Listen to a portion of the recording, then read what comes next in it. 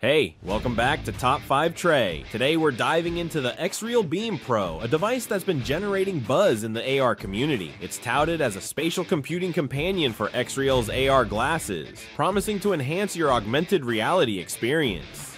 But does it live up to the hype? Let's find out. Remember, all the products featured in this video will be linked down in the description below, so be sure to scroll down and check them out if you're interested. The XREAL Beam Pro sports a sleek, minimalist design that feels premium in hand. With a 6.5-inch 1080x2400 LCD display and weighing in at a comfortable size, it's designed for portability and ease use. The device features dual 50MP rear cameras and an 8MP front camera catering to spatial photography and video needs. However, it's worth noting that the package is quite bare bones, no USB-C cable or charger included, which might be a consideration for some users. Under the hood, the Beam Pro is powered by the Snapdragon 6 Gen 1 processor, coupled with either 6GB or 8GB of RAM and storage options of 128GB or 256GB, expandable via microSD up to 1TB. This setup ensures smooth performance for most tasks, especially when paired with XREAL's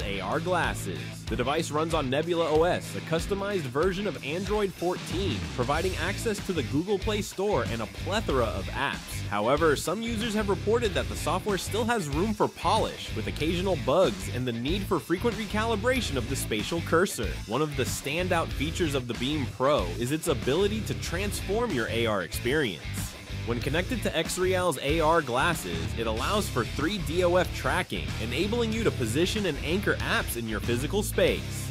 The device supports multitasking with up to two apps simultaneously, and the touch controls on the Beam Pro serve as a cursor for navigation.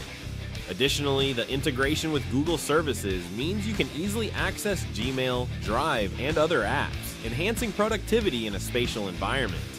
Battery life on the Beam Pro is respectable thanks to its 27W fast charging capability. While exact battery duration varies based on usage, users have found it sufficient for extended AR sessions.